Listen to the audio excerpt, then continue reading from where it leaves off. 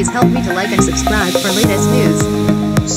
Indonesia tsunami and earthquake killed 384, leave hundreds injured the 29th of September 2018. Rescuers scrambled to find survivors after a powerful earthquake hit the Indonesian island of Sulawesi and triggered a tsunami, leaving at least 384 people dead. After the 7.5 magnitude earthquake hit Friday, water smashed into buildings and swept away homes in Palu City. Scores were trapped in